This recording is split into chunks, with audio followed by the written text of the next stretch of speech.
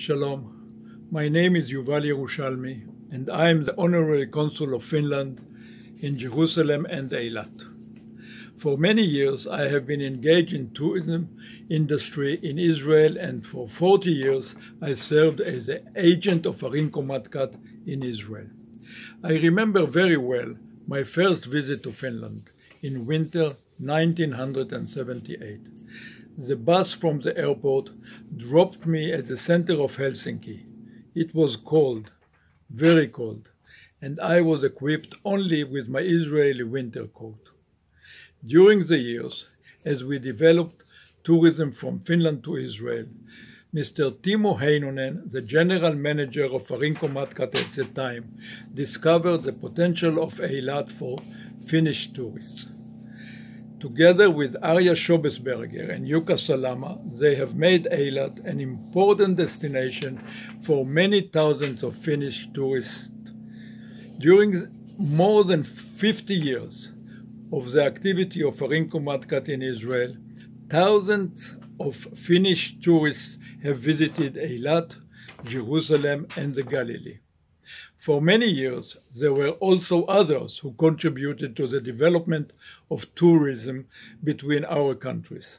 To mention just a few, Tovio Matkat, headed by Mr. Tapani Oksanen, Penti Holly, and the legendary Israeli Finnish speaking guide, Mr. Dave Hustonson.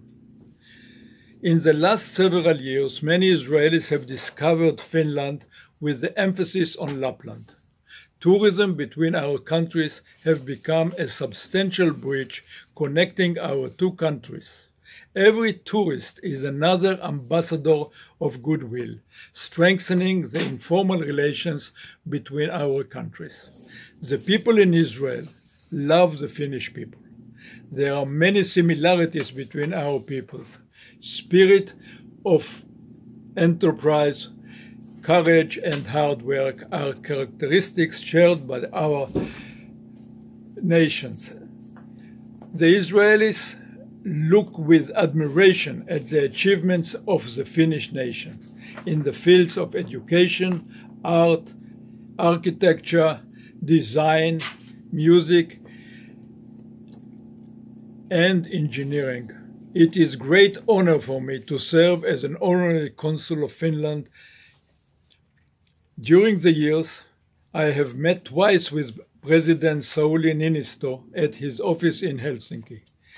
The meetings were interesting and inspiring, but the crowning event was when the president visited Jerusalem and took part in the 75th anniversary ceremony commemorating the liberation of Auschwitz-Birkenau concentration camps held in Yad Vashem in Jerusalem. It was a very exciting moment which was appreciated by all Israelis. Although today we celebrate 70 years since the establishment of diplomatic relations between our two countries, we are also celebrating many more years of love story between Finland and the Jewish people.